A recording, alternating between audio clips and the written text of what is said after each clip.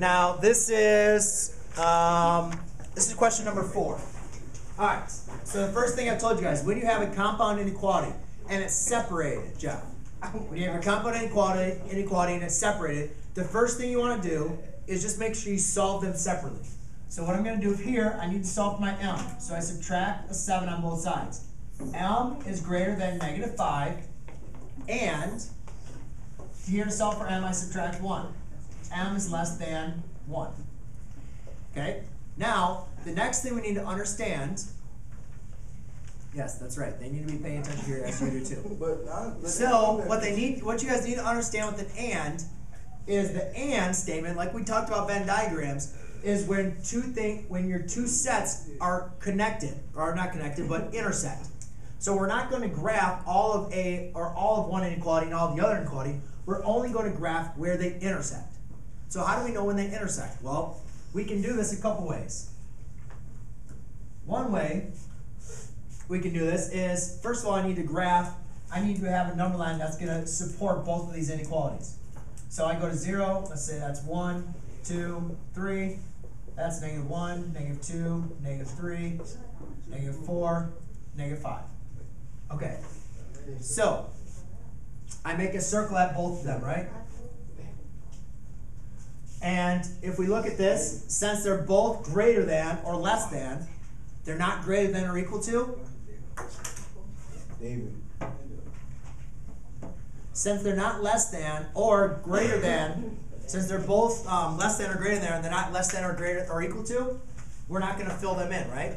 They remain the same. So um, now what we need to do is just determine what do their graphs look like. M means the values that are greater than negative 5.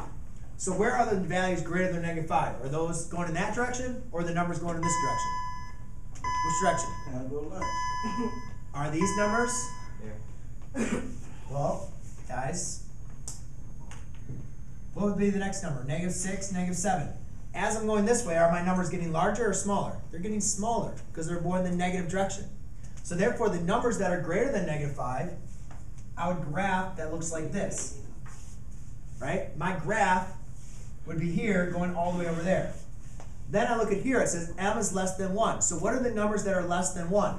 Is that going to be the numbers going to the right or the numbers going to the left? And it's the numbers going to the left, right?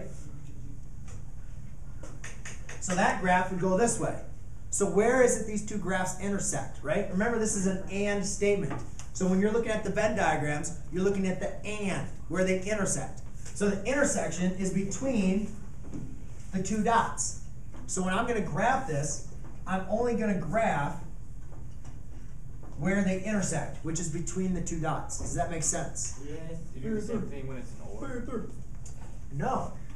Remember, or, Yeah, my question well, I'm show a video on or, but I already did do an or one. But remember, or is them separately. It could also possibly be when they intersect, but you have to graph them to see it, when that works.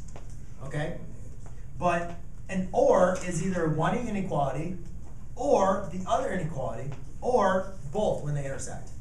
But you should always know whenever I'm saying and, that only talks about where they intersect. Okay?